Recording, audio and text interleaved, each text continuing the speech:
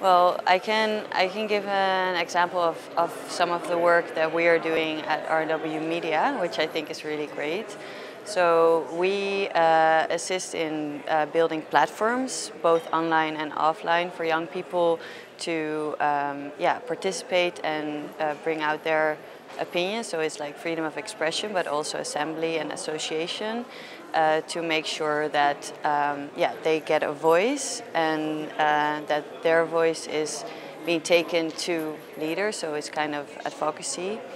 And I think that's one of the things that can bring young people together, for example, and yeah, make sure that information is more widely spread.